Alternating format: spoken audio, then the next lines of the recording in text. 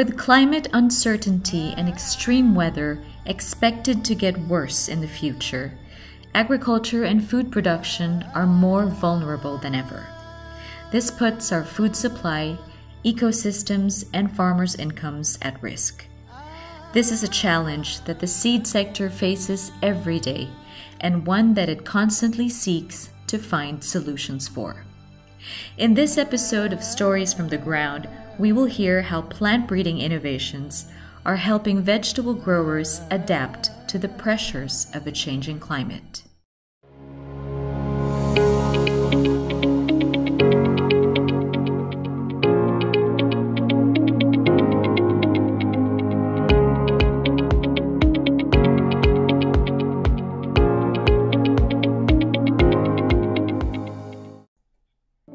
Vegetables are an important source of nutrients and an essential part of diets and cuisines around the world. Growing them is also good for farmers, a valuable source of income, and healthy food for the table.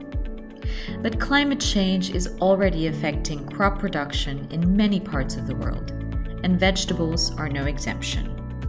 That is why developing varieties that are resilient to current and future climate shocks is one of the most important adaptation measures we can take. Robert Oostveen has been a carrot breeder for 22 years, and he knows that climate change is a real concern for growers.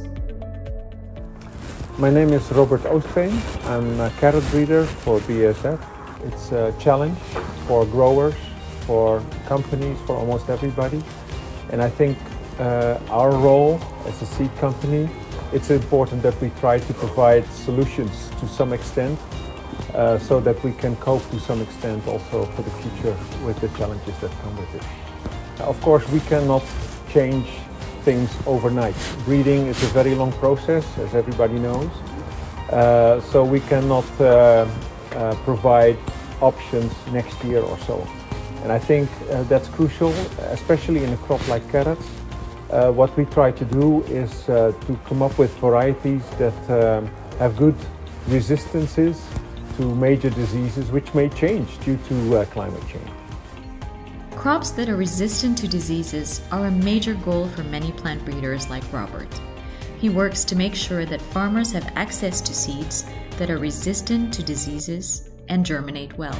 Well, this is a clear example, the variety called Brilliant. And this is in a scenario where the drilling density was very high. And indeed, the germination was also very high, which means that uh, you have very small carrots here. And they are still very young. That's also why they look uh, still pointy. And uh, indeed, uh, this is one of the examples of a variety that is very strong on powdery mildew. So uh, in uh, years like this, where that is really uh, an important disease, this can withstand quite well.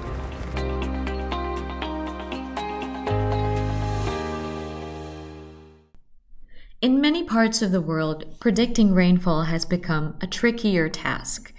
Scientists believe that global warming has increased the intensity and frequency of precipitation, causing flooding in some areas. In others, the lack of rainfall result in long periods of drought. In Kenya, for example, farmers are finding it more difficult to grow beans, a major food crop, because of more unpredictable rain. Claudia Borbola explains how better varieties provide the solution. The climate conditions have been more and more erratic, more and more unpredictable, and the growers need to deal with it. So they have been losing their crop uh, due to um, having too hot or too dry or too rainy seasons, and we really need to focus on getting the right varieties which are strong. Uh, with the right resistances, such as rust resistance, and who can deliver yield across uh, all the season. So imagine all these uh, families working on the field um, talking about half an acre, one acre. They are hand harvesting the beans, so they go back every second day and they pick the beans. And every day they need to make enough so that they are paid the amount to feed the whole family and uh, that children can go to school. This is our role as well to, to help them fight against climate change, to help them having a healthy income and that uh, families have good eating good dinner on the table and children can go to school. A huge part of being a farmer is managing risk. Not only weather, but disease outbreak can spell the difference between harvest or no harvest, income or loss. Cauliflower breeder Yevgeny Novoselov explains how diseases like club root can devastate farmers. So basically, uh, it's a question whether a grower will end up with the harvest or not. It can be uh, seen as the reduction of the yield or the part of the reduction uh, of the yield, but what happens uh, in most of the cases when clubroot is, uh, um, is really present on the production side, the crop will not come up to the harvestable stage. So basically, you speak whether you will end up with the harvest or not. So this is what we see uh, yeah, in many production pockets worldwide, starting from Europe and ending up in uh, either in North or in South America. For farmers, good seeds could be the best insurance they can get in managing risks that only get worse with climate change. Professional level, of course, it's uh, having this variety fits in um, in the calculation plan of the grower, so he can rely on it.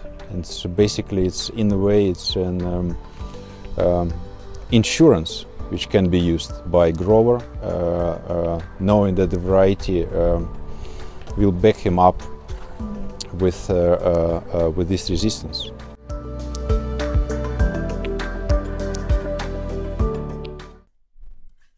Part of being a plant breeder is understanding consumer behavior, how we like our vegetables, how we eat and enjoy them. How much of it goes to waste is also a problem. For Leszek Klimczak, cutting food loss in cauliflower starts with keeping their white color for a longer time.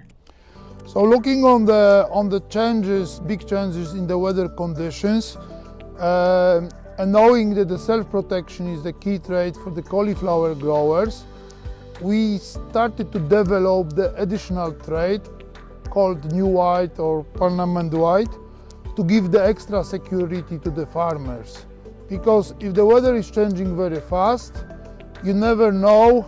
Sometimes your crop is open, head is exposed to the sun, and the grower losing the quality and cannot sell the cauliflowers later on the, on the market. So having this trait in cauliflower, you secure that your head color will remain still the same, even when the head is, is open. And in the end of the day, it's giving more security to the growers and also increasing the profit. So this is the one of the varieties which we developed in last few years called Alderan, which having this trait already in.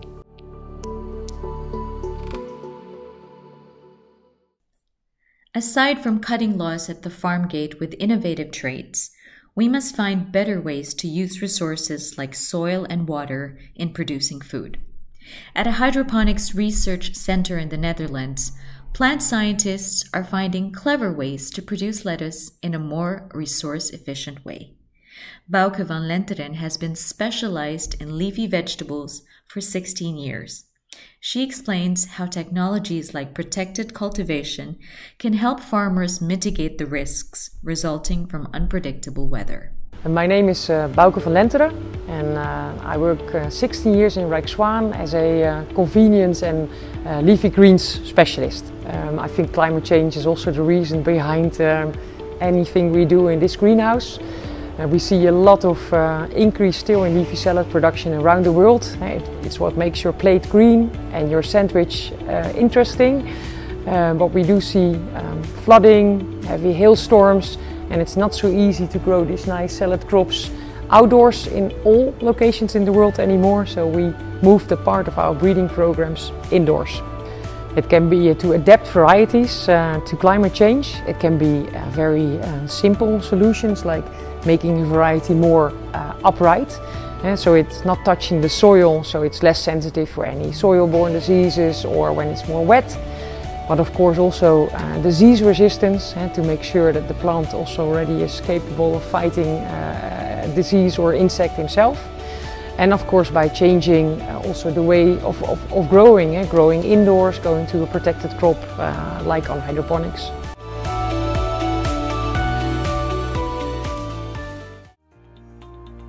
These are just some examples of the innumerable ways that the seed sector is rallying against climate change.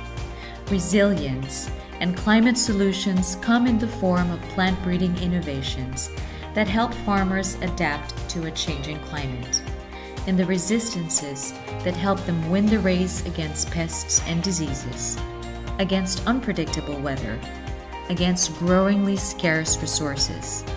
All of this to enhance both quality and yield to achieve a more food secure world today and tomorrow.